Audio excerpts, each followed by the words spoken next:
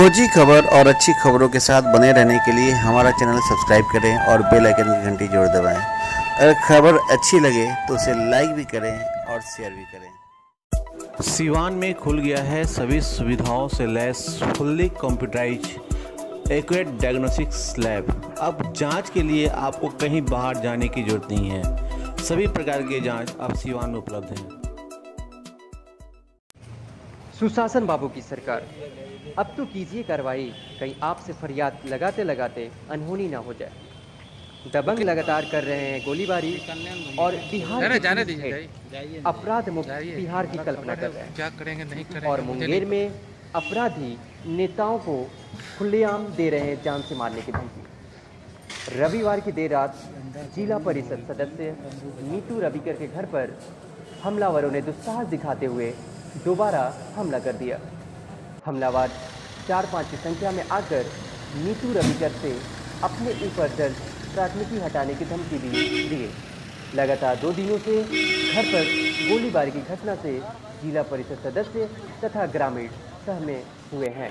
क्या मामला हुआ था? कल रात फिर आपके घर पे गोलीबारी हुई तो? कल रात में वो दोबारा मेरे घर पे साढ़े दस बजे रात में आए।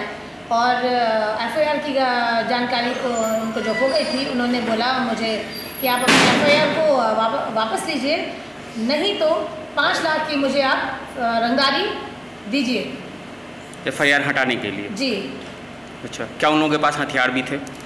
वो सभी लोग जो आए थे जिनके? अगेंस्ट मैंने एफआईआर किया था जिनका नाम विठल सिंह है उनके भाई थे विजय सिंह बेटा था विनीत सिंह बगना था राहुल सिंह और दो व्यक्ति थे जिनका नाम मैं जानती हूँ अजय सिंह और बुलेट सिंह। कुछ और जिनको कि मैंने देख नहीं पाया वो उनके पीछे से थे व्यक्ति वो सब थे। जिनको मैंने देखा जहाँ से रोशनी जा रही थी मेरी खिड़की से मैंने देखा कि सभी के हाथों में हथियार पिस्टल। पिस्टल राइफल्स जी। कई तरह की क्योंकि वो अपराधी है। जी जी। जी। तो अब आपने क्या इस मामले में पुलिस को कोई इन्फॉर्मेशन दी है कोई एफ़ मैं किया है की घटना को देखते हुए सुबह में फिर आके मैंने एसपी से इसकी सूचना दी। उन्होंने मुझे बोला कि आश्वासन देते हुए कहा कि आपने जो एफ़ किया है मैं उसको अपने तहत दोबारा से जाँच करा के फिर मैं आपको सारी जानकारी के तहत सुरक्षा प्रोवाइड करा।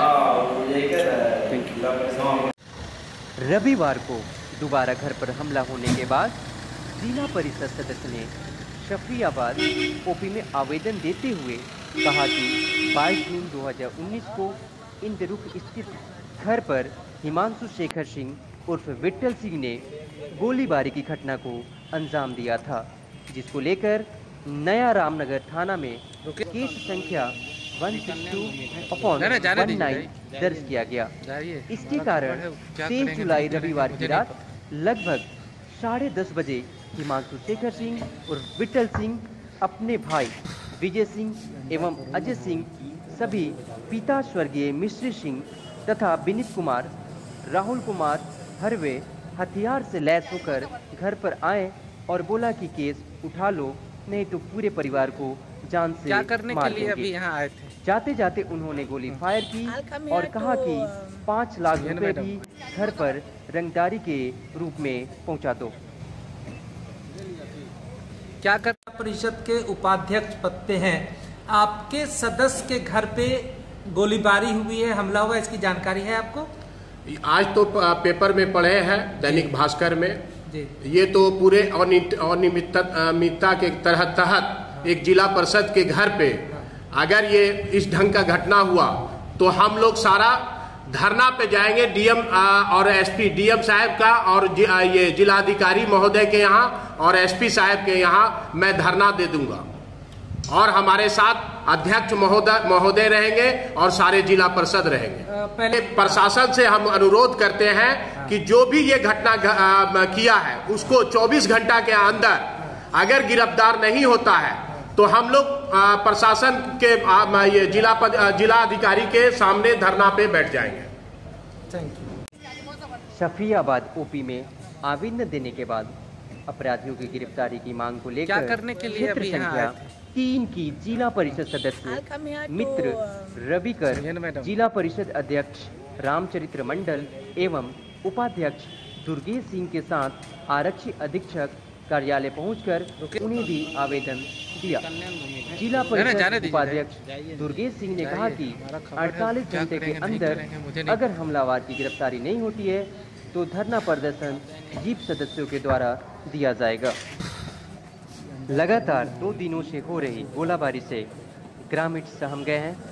ग्रामीणों में इस बात का भय हो गया है, कहीं दोबारा खूनी खेल गाँव में नहीं खेला जाने लगे। बताते चले कि इन रुख में आपसी पर वर्चस्व को लेकर गोलीबारी की घटना होना कोई बड़ी बात नहीं है। लेकिन जिला परिषद सदस्य के घर पर लगातार हमला होना कहीं ना कहीं प्रशासनिक विफलता को भी दर्शा रहा है। पुलिस इस घटना को गंभीरता से नहीं लेती है तो बड़ी घटना भी घट सकती है। इससे ग्रामीण बहुत भयभीत हैं।